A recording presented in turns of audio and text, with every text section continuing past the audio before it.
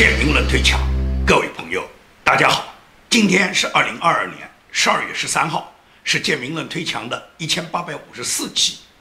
昨天的节目呢，我跟大家呢做了一个大胆的推测，就是说呢，两年之内，二零二四年共产党会灭亡，习近平会死亡，也就是习近平会成为中共最后一代君王，他是最后一代人，也就是呢亲临地就是共哀地。我呢给出这么一个结论。那么一部分朋友呢，当然是觉得这个咒语呢，大家听了很高兴；还有一部分朋友就认为建明你是做时政评论的，我们把你当做一个时政评论的权威，你下出这种结论有没有根据呢？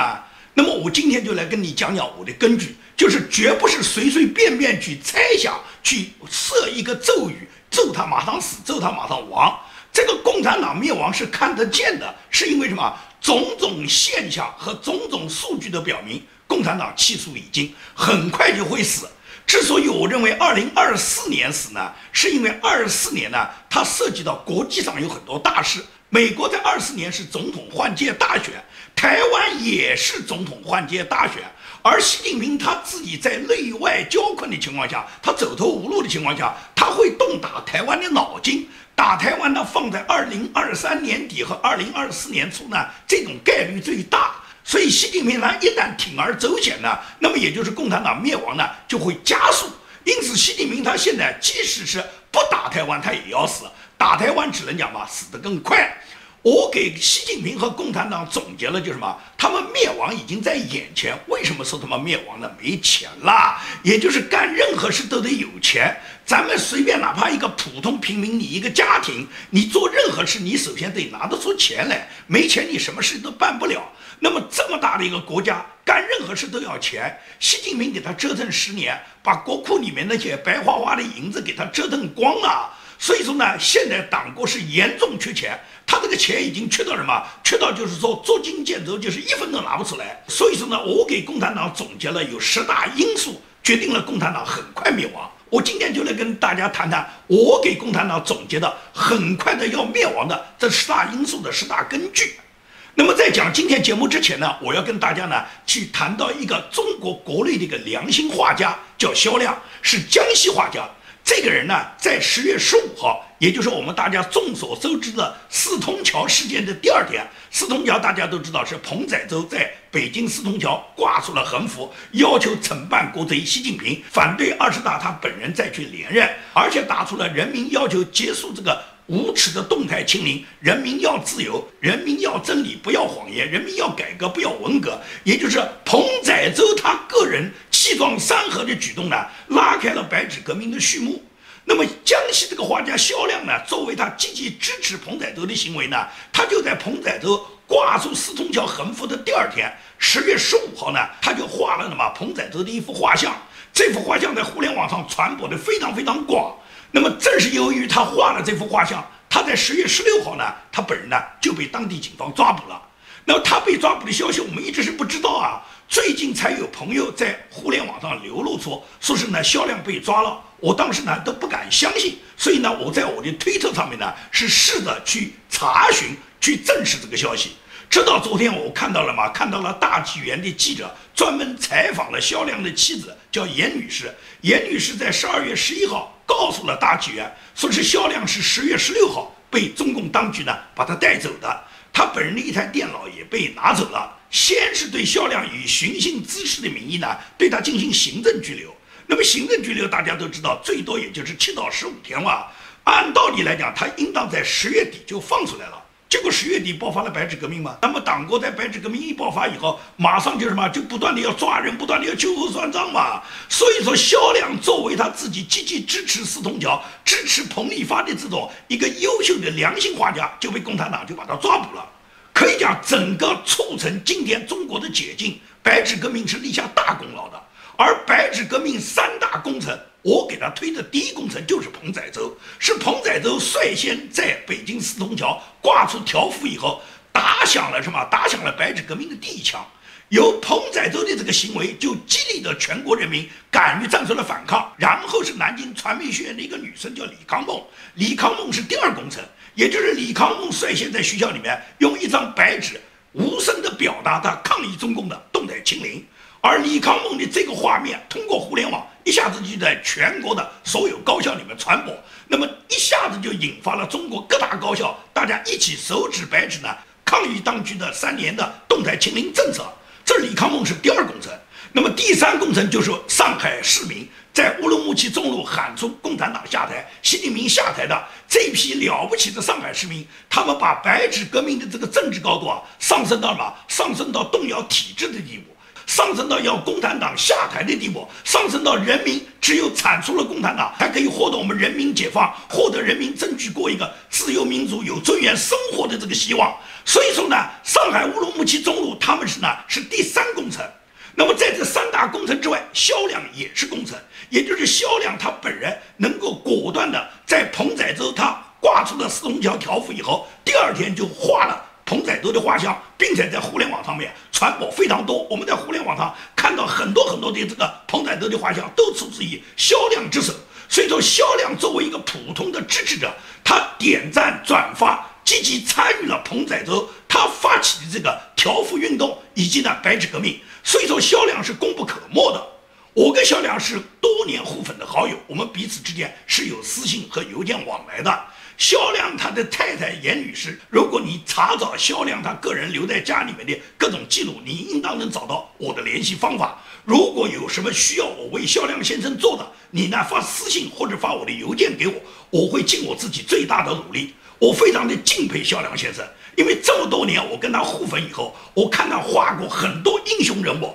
很多英雄人物都是非常正面，其中包括任志强、倪志英、许章润。这三个人都是分别在共产党对他们残酷的打击之后，那么肖亮先生很快就画了这三个人的画像，去表彰他们自己的英雄行为。所以说，肖亮先生从来就不惧怕共产党对他的威胁，每次都站在正义的一边。这是我对肖亮先生非常敬佩的一点。其次什么？其次，肖亮先生在他自己推特上经常画一些嘛，画一些正面的人物，画一些正义性的人物，画一些具有正义价值观的人物。包括反抗俄罗斯侵略的乌克兰的这个女战士，包括乌克兰战时总统泽连斯基，包括美国坚定的反共的政治家蓬佩奥，包括日本已故首相安倍晋三，以及香港的反共先锋人物黎矿，就是这些正义感的人物，通通都在肖亮先生的笔下，他都把他们的画像画完了以后发在互联网上，也就是表达他对这些人物的尊敬。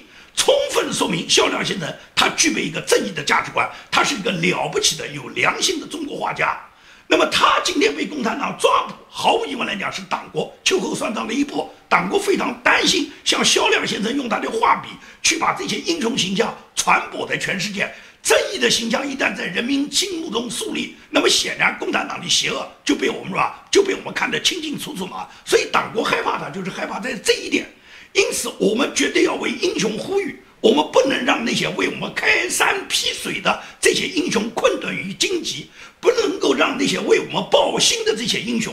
让他们冻毙于风雪之中。所以说，我们每一个人都应当为那些已经被共产党打击的，但是曾经为我们这个正义的事业、为中国人民民主解放事业做出贡献的人，我们对他们要表达我们的尊敬。我们要尽我们自己最大的努力，为他们呼吁，为他们奔走，希望他们尽快早日获释，希望他们能够去战胜共产党给他们施加的各种恐惧。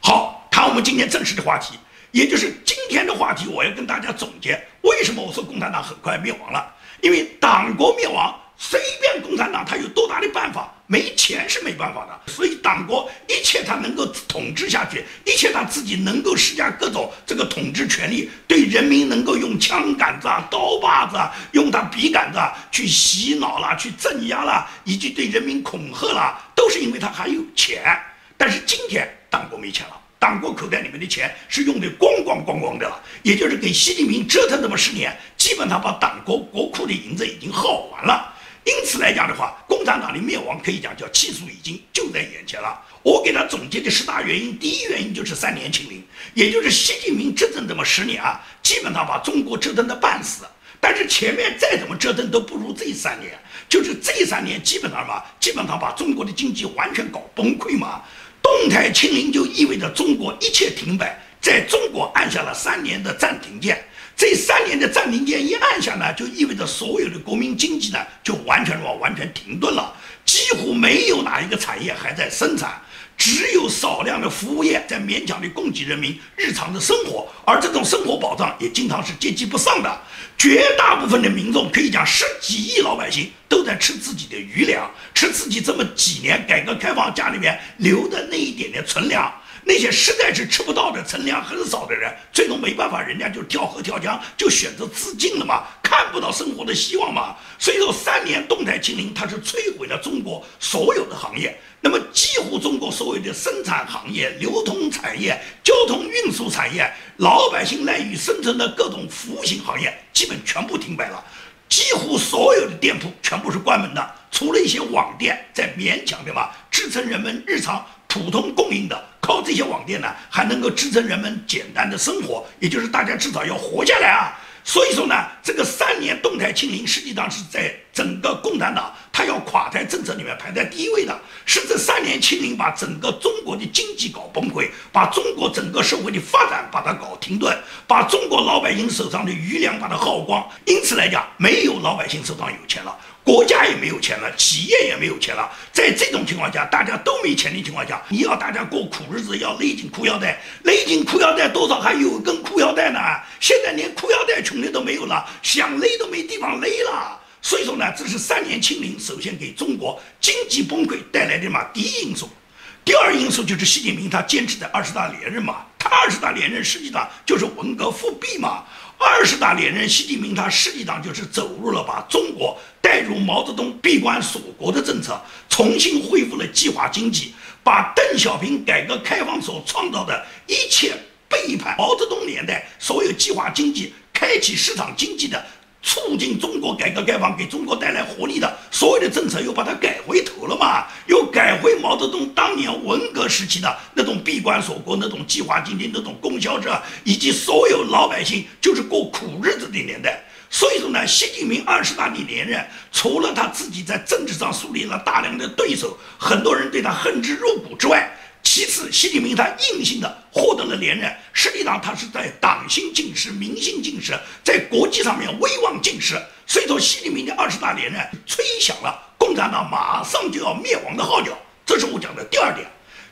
也。就是因为这个习近平统治这么十年，尤其动态清零这个三年，它导致的经济大规模的失速，也就是本来中国的经济一直是增长的。按照中共过去定的目标，是每年的这个国民经济的增长率，就 GDP 的增长率是不低于百分之七的。但是习近平统治这么几年，几乎年年达不到这个指标。最近这三年别百分之七了，百分之二、百分之三都不一定能达到，因为什么？所有的经济基本上都停顿了嘛。而大量的外企呢，被习近平通通从中国赶走了，日企啊、韩企啊、台资啊。这些企业本来在中国好好的这个生产服务，在中国给中国创造的就业、创造的税收，但是呢，他们除了用动态清零的方式把这个企业莫名其妙就关掉，莫名其妙就让这个企业它就不能够生产，人家没没办法，就是继续跟你这么耗下去，一耗三年谁耗得起的？所以说这些企业除了有动态清零的因素，还有什么？还有政治因素，就是消灭美帝、消灭日寇、消灭韩国高丽棒的，打倒台独，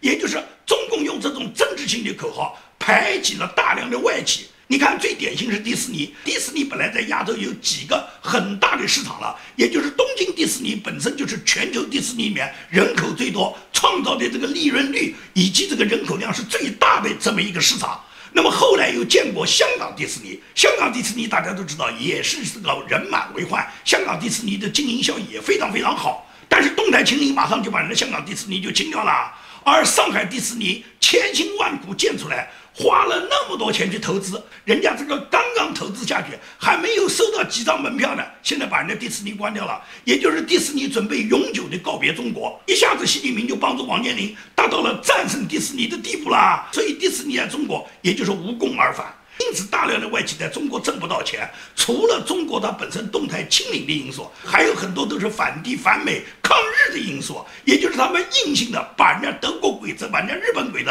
把人家美国鬼子赶走了嘛。所以在这种情况下，你说中国的经济它怎么可能它还能继续往前发展呢？这是外企，而民企呢？民企是逃的逃，关的关，也就是有能力的民企，他就把自己的这个产业重心转移到了嘛，转移到其他国家。搬到其他国家去，在别的国家发展，这个呢是一部分民企。那么绝大部分的民企是没这个条件的，因为你外汇移不出去啊，你想把企业搬到国外没那么简单，党国是不断的限制你啊，所以说很多企业只能关了啊，因为三年都不上班，你让人家企业怎么去生存呢？还怎么继续去完成他的订单？怎么去生产他的产品？即使是造出来产品，也没人敢买，也没人去把你运到市场上去啊。所以说呢，民企基本上要么逃，要么关，要么就什么，老板就上吊了，老板就逃跑了。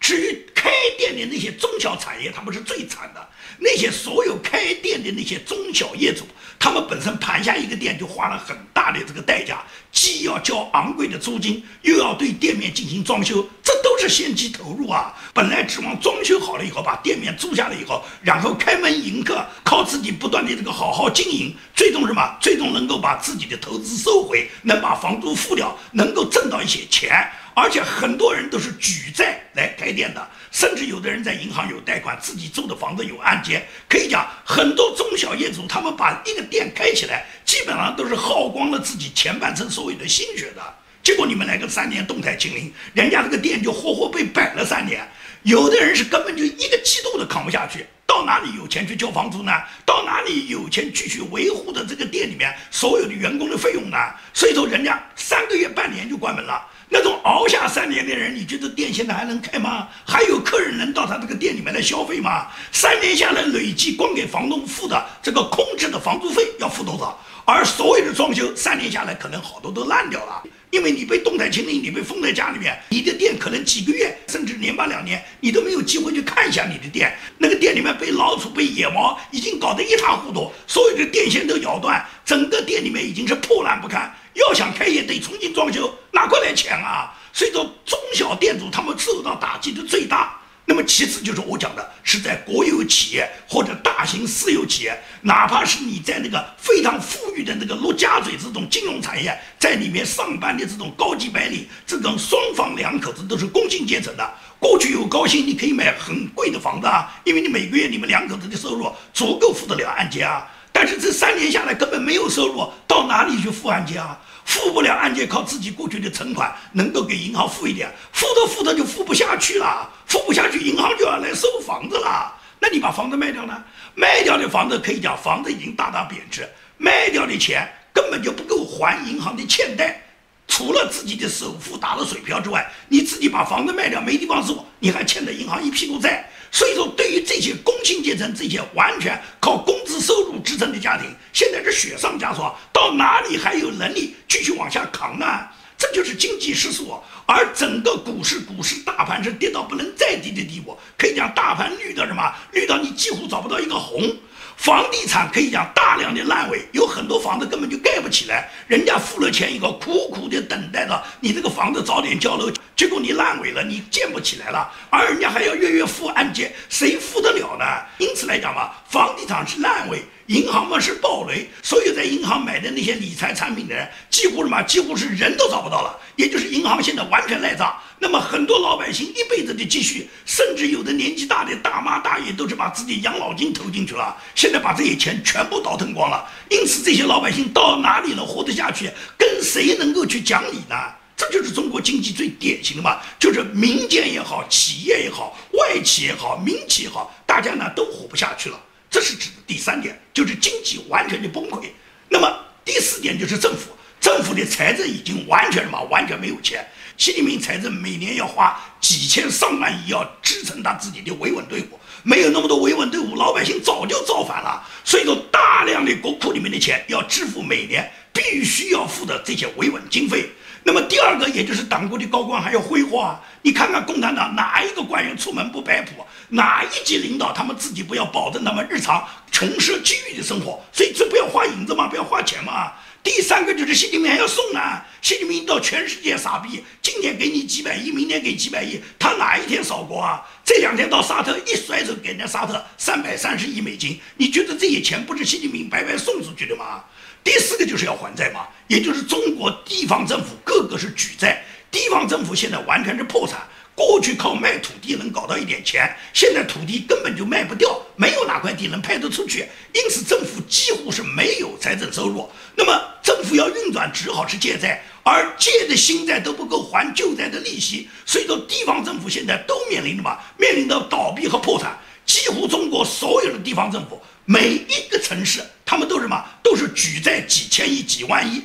因此来讲。地方政府他们本身就没有钱，共产党让他们去维稳，让他们派出那么多大白去清零。为什么那么多大白造反、大白上街啊？就是因为大白被共产党这些政府欺骗的去欺压老百姓，完了以后现在清零结束了，这些大白拿不到工资，所以大白也要造反啊。那么大白活该了，他们只是党国的打手，自然被卸磨杀驴了。只是你从大白造反，你就可以看出共产党确实没钱了，党国没钱了，党国没办法，连大白的钱也付不出。当然了，他们把大白牺牲掉，大白牺牲活该，大白这一批人就应该被党国卸磨杀驴，他们死是他们自己找死。这是第四点，地方政府。第五点就是国防开支增加。大家都知道，习近平天天是军机绕台啊。你知道他每天派多少军机吗？派多少军舰吗？这些大量的军机、军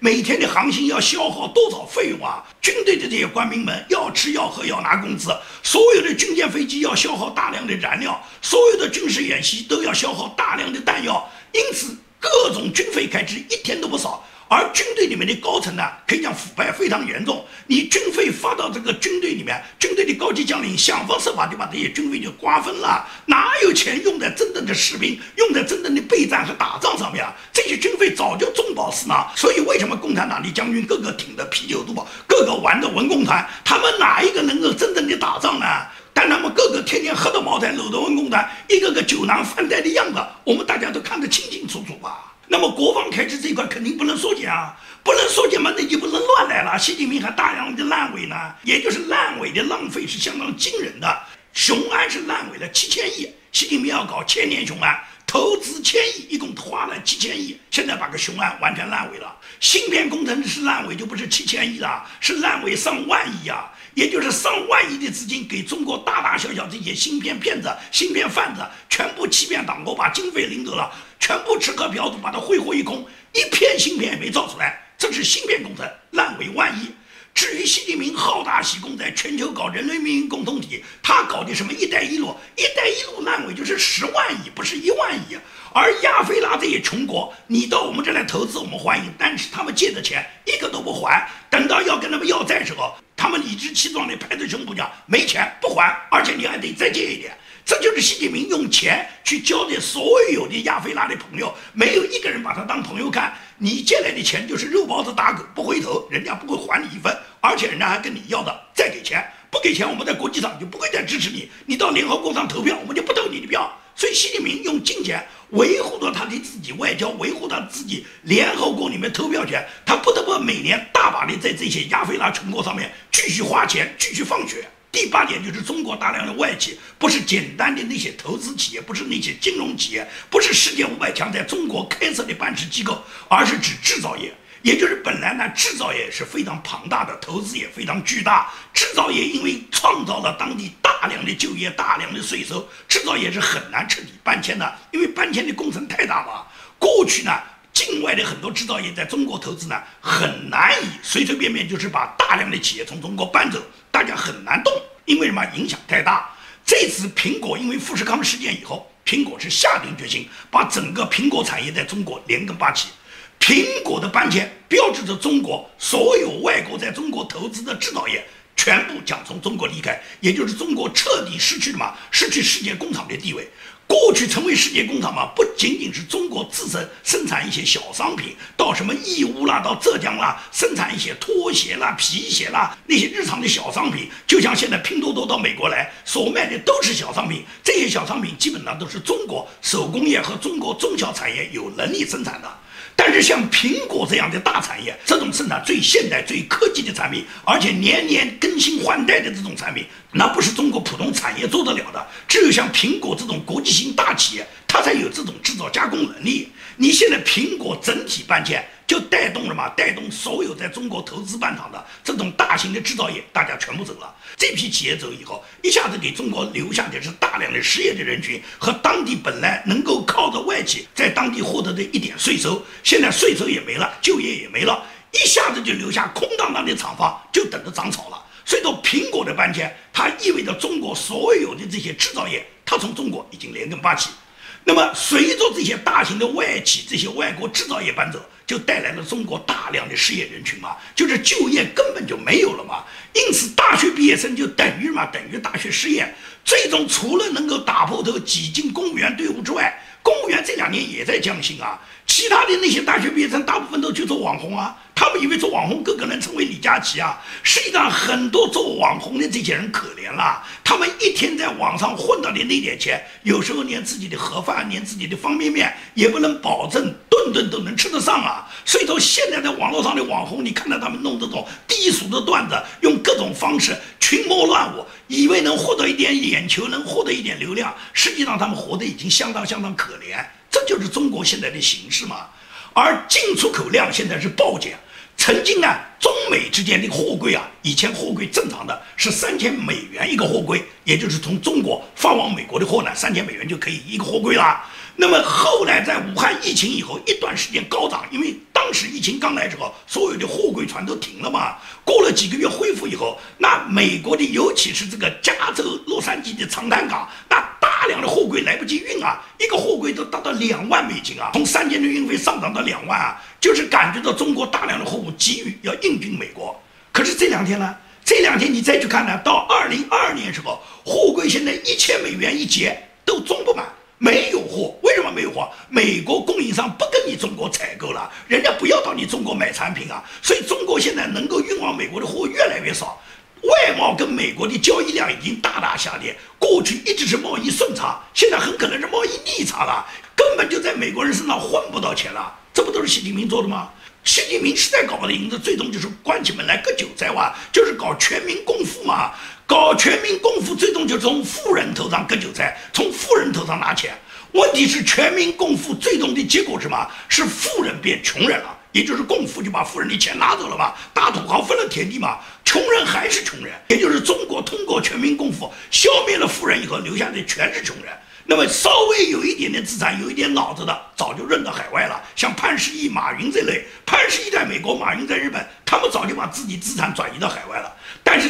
大量的中国的那些富豪没有潘石屹和马云这种能力啊，既没有他们这种资源，也没有他们这么大的资产，而且什么？而且还一直犹犹豫豫，舍不得润。等到真正想润的时候，已经没钱了。润也没有机会了。即使是现在能给你润，到了国外，他认为自己已经四五十岁、六七十岁，根本在国外就没有生存能力，而他自己又没有资产带到海外。即使是润到海外，在海外又怎么活下去呢？所以这就是中国的现状嘛。那么种种的这些现实摆在面前，也就是共产党没钱了，习近平已经捉襟见肘了。习近平实在拿不出银子来维持他这么庞大的官僚系统了。当大家都没钱时候，谁跟着你干呢？也就躺平了哇。共产党的高官也躺平，底层的官员也躺平，而老百姓的怒火你是压不下去的。当大家没钱吃饭时候，眼看要死时候，与其在家等死，不如跟你拼死了。所以说，肯定嘛，白纸革命会卷土重来。因此呢，在未来一两年，大规模的群众的反抗和抗议呢，将会什么？将会风起云涌。过去几十年，共产党呢是吃尽了红利，让他们过上了好日子。也就是六四过去这么三十多年来，共产党一直能维护的统治呢，主要是什么？主要是国内本身有改革开放，大量的吸引外资，尤其是 WTO 以后，在中国建立了世界工厂以后，大量的国内企业，无论是私企、国企，大家呢都呢过上了好日子。互联网企业正好是在这个阶段呢，是大量的兴起。而中国人模仿抄袭呢，他们这个手段又非常卑劣，而且模仿抄袭的手段相当的快。微信嘛抄人家脸书，微博抄人家推特，百度抄人家谷歌，优酷抄人家油管，支付宝抄人家 PayPal，淘宝抄人家亚马逊。所以说一下子互联网企业中国呢也发达的很快，因此来讲过上一段时间的好日子，尤其是 WTO 过了将近什么将近十几年的好日子。但是习近平来以后，习近平就开始折腾了。在习近平之前，无论是邓小平也好，江泽民也好，胡锦涛也好，都是闷声大发财，都是韬光养晦，不在国际上出头，不跟美国对立。而在国外呢，又培养了一大批类似于像基辛格、赵小兰这样的人，不断的为党国唱赞歌，不断的在政治上帮助党国。所以说呢，中共的好日子一直过到了习近平接任之前。而习近平接任以后，不断的恶化中美关系。中美贸易战从二零一八年开始打，一直打到现在。贸易战之后，中国被美国加征了大量的惩罚性关税。紧接着，习近平贸易战没打完，习近平就开始细菌战了。从武汉病毒开始，二零二零年向全世界释放武汉病毒。那么，这个武汉病毒给全球带来了巨大的影响。全球对中国的深恶痛绝，可以讲叫围追堵截中国。因此，动态清零这三年，中国是关起门来自己清零。国际上，人家已经消除了这个病毒给人家带来的影响，人家全部恢复正常了。那么，人家恢复正常以后，中国三年清零又自废武功，而且国际上现在也很难再出现像基辛格、赵小兰这种帮中国说话的人了。因为美国已经完全意识到嘛，中国之所以这么多年能够在中美对抗中每次都占有上风，每次都事先掌握美国重大的各种机密情报，都是因为美国有一大批类似于像基辛格、赵小兰这样的人向中国诉讼吧，诉讼美国的机密啊，而他们诉讼就是开咨询公司啊。讲起来，他叫咨询公司，有什么东西好咨询啊？不就是把自己的资源，或者是帮助中国做掮客，来促进中美之间的勾兑，最终让中共每次都达到他们自己的政治目的吗？那美国现在已经意识到这一点，所以美国国会就在上个礼拜通过了最新的国防法案。这个法案里面，其中有一个重要的条款，就是禁止美国国家高级官员。只要你在白宫工作过，在美国的国会工作过，无论是在参议院还是众议院，就是一府两院，你只要在这里工作的美国联邦的高级官员，你们这些人退休也好，退役也好，都是不允许为中国、为俄罗斯、伊朗、朝鲜、古巴、叙利亚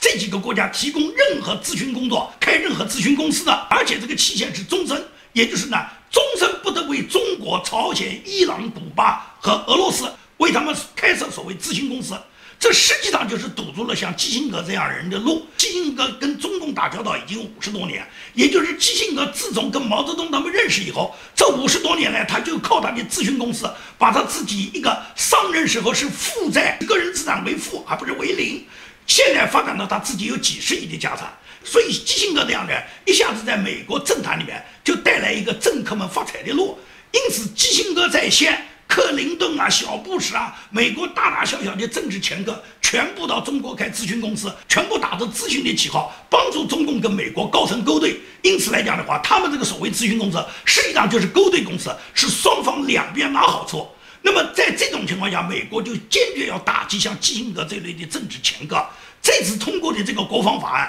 对所有的这个美国退役的政治人物，无论是谁，包括基辛格本人，只要你在美国联邦政府工作过，你这终身都不可以给中国提供任何咨询。也就是基辛格干了一辈子，他反正快一百岁，他马上要死了，该挣的钱都挣到了。而美国这项法案就是打击了美国所有其他的这些政客，企图什么？企图走基辛格这条路的。这一次美国国会就把这条路彻底给你堵上了。那么这样就变成了习近平，他就是没有外援，那么同时他内部又不断的造反，加上党国没有钱，你觉得习近平他还能熬得下去？共产党还撑得下去吗？所以我告诉你啊，最多就是这么一到两年，我们看得见的共产党的灭亡。因此大家一定要坚定信念，我们此生一定是有幸可以看到共产党它的灭亡，看到一个自由民主的中国将在中华大地凤凰涅槃重新诞生。好。今天的节目我就跟大家做到这里，谢谢大家。